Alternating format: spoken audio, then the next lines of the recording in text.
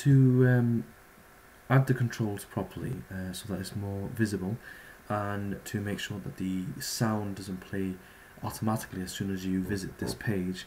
What you need to just click the plugin here. You go down to the parameters at the bottom and then you have to basically type in two items.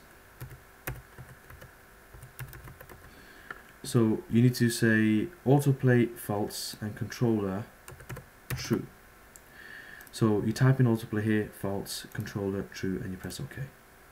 And then if you look at the code you'll see that the um, items for it to play automatically has been taken off and the controller has been added on properly. And you should do that uh, for all three. So parameters I type in auto play false and another one for the controller. Controller. True.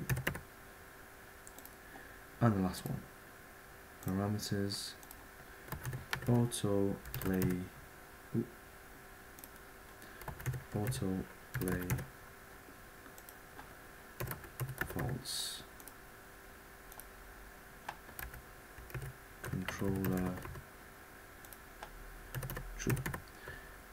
and then press save. And that is how you edit those elements